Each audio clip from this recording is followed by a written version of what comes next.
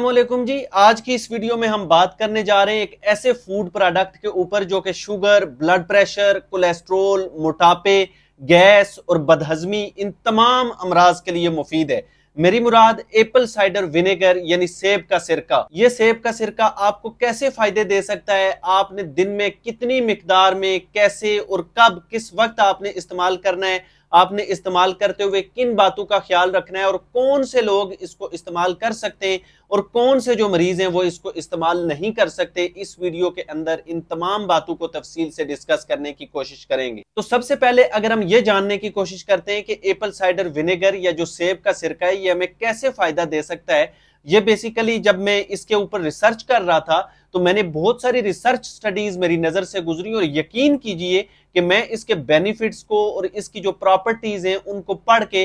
खुद हैरान हो गया कि अल्लाह पाक ने इंसानों को सेब के सिरके की शक्ल में बहुत सारी बीमारियों का तोड़ दिया है। लेकिन मेन चीज़ जो समझने की है वो ये है कि हम इसको प्रॉपर तरीके से इस्तेमाल कैसे करें। एप्पल साइडर विनेगर जब हम इस्तेमाल करते हैं तो इसके अंदर जो मेन इंग्रेडिएंट होता है बेसिकली वो एसिटिक एसिड होता है। ये एसिटिक एसिड हमारी भूख को कम करता है, हमारे मेटाबॉलिज्म को तेज करता है, हमारे जिस्म के अंदर जो चर्बी गुलने का अमल है या चर्बी जलने का अमल है उसको तेज करता है। इस वजह से ये जो मोटापे के मरीज़ हैं, बहुत सारी रिसर्च स्टडीज़ के अंदर ये देखा गया है कि बहुत सारे लोग जिनको रिसर्च स्टडीज़ के अंदर एप्पल साइडर विनेगर का इस्तेमाल करवाया गया, उनके वज़न के अंदर दो से तीन माह का जो एप्पल साइडर विनेगर इस्तेमाल करने का दौरानिया है, उसके बाद उनके वज़न के अंदर वाज तब्दीली वाज कमी देखी गई। इसके अलावा एप्पल साइडर विनेगर के अंदर यह खासियत होती है कि ये आपके इंसुलिन के काम करने को बेहतर बनाता है, जिसकी वजह से हमारे जो शुगर लेवल्स होते हैं, वो बेहतर होने लगते हैं और हमारी शुगर आहिस्ता आहिस्ता कम होने की तरफ़ जाती है।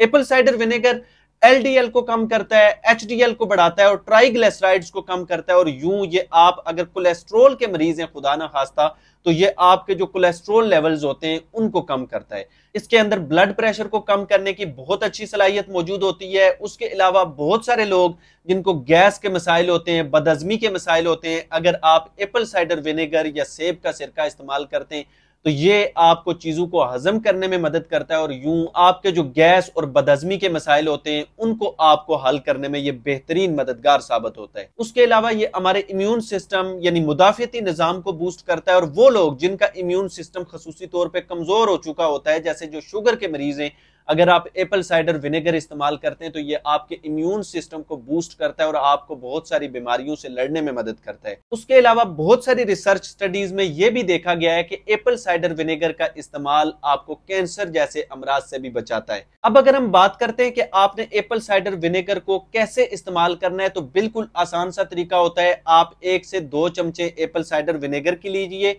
और उसको एक गिलास पानी के अंदर हल करने के बाद डाइल्यूट करने के बाद आप बिल्कुल आसानी से इसको पी सकते हैं। या फिर ये होता है कि बहुत सारे लोग जो जिनको एप्पल साइडर विनेगर का टेस्ट पसंद नहीं होता, आप उसको सलाद के ऊपर छिड़क के इस्तेमाल कर सकते हैं। आप अगर इसको पानी के अंदर डाल के इस्तेमाल कर रहे हैं तो आप इसके जायके को बेहतर बनाने के लिए इसमें लीमू डाल सकते हैं, इसमें पुदीना डाल सकते हैं, इसमें अदरक का इस्तेमाल कर सकते हैं, जिनके ज़ाहिर सी बात है कि वो बहुत अच्छी चीज़ें हैं, उनके अपने इनिशियल बेनिफिट्स मौजूद होते हैं। उसके अलावा ये है कि आप जो एप्पल साइडर विनेगर है, ये दिन के किसी भी वक्त इस्तेमाल कर सकते हैं, लेकिन खसूस अगर आप सुबह के वक्त नहार मुँह इसको लेते हैं तो ये आपके जिसम को साफ़ करने में, आपकी आंतों को साफ़ करने में मदद करता है। और उसके अलावा अगर आप खाने के बाद इसको इस्तेमाल करते हैं तो खाने के बाद आपका जो शुगर स्पाइक होता है, ये आपको उससे बचने में मदद करता है। यूँ आप दिन में एक मरतबा किसी भी वक्त एप्पल साइडर विनेगर को पानी के अंदर हल करके ज़रूर इस्तेमाल कीजिए, लेकिन आप इसको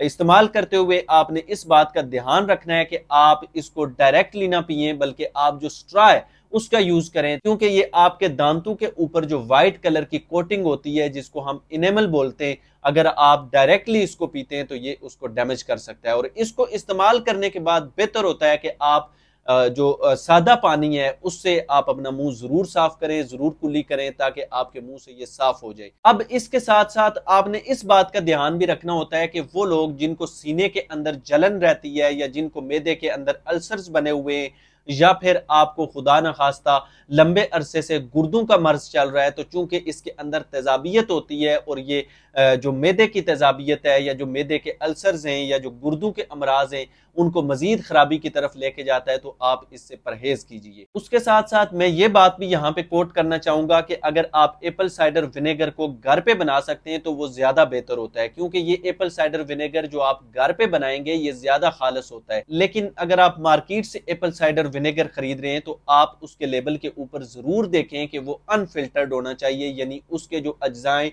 वो फ़िल्टर ना किए गए हों और उसके साथ साथ उसके अंदर कोई भी एडिड शुगर नहीं होनी चाहिए। तो यूँ आप एप्पल साइडर विनेगर को ज़रूर अपनी रूटीन में इस्तेमाल कीजिए आप अगर दो से तीन माह तक एप्पल साइडर विनेगर इस्तेमाल करते हैं तो आप अपने शुगर लेवल्स के अंदर, कोलेस्ट्रोल के अंदर, वज़न के अंदर और बाकी आपकी जो ओवरऑल हेल्थ है, उसके अंदर आप वाजे तब्दीलियाँ देखेंगे। एप्पल साइडर विनेगर को इस्तेमाल करने के बाद कमेंट सेक्शन में अपनी राय से ज़रूर नवाजिएगा। एक नई वीडियो में आपसे मुलाकात होगी। तब तक के लिए अल्लाह निगेबान।